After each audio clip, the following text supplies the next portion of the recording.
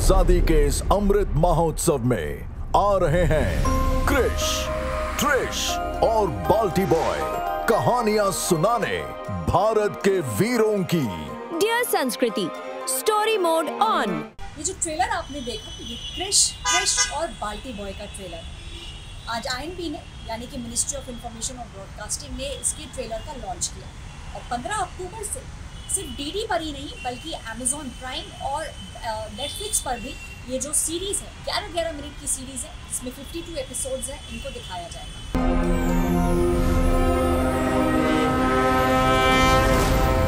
चलो सुनाए कथा पुरानी भारत भूमि के वीरों की।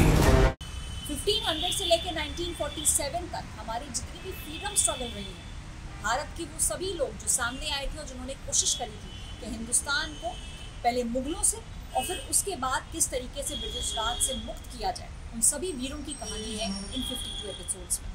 प्रधानमंत्री नरेंद्र मोदी कई बार ये बात बोल चुके हैं कि किस तरीके से हमें गुलामी की मानसिकता से बाहर आना है। ये इसीलिए लॉन्च किया गया है ताकि आने, आगे आने वाली पीढ़ी जो है वो ये समझ पाए कि स्वतंत्रता सेनानी फ्रीडम फाइटर्स कुछ ही लोग नहीं थे, बल्कि ऐसे कई सारे लोग थे। रानी लक्ष्मीबाई की अगर हम बात करें, अगर हम महाराणा प्रताप की बात करें तो ये सब कई सारे लोग ऐसे थे जिन्होंने फ्रीडम स्ट्रगल के अंदर बहुत महत्वपूर्ण एक जो पार्ट है वो निभाया। और यही कारण है कि अब 11 बजे हर रविवार को 15 अक्टूबर से डीडी के साथ साथ साइमल्टेनियस ब्रॉडकास्ट किया जाएगा अमेजोन प्राइम और नेटफ्लिक्स पर।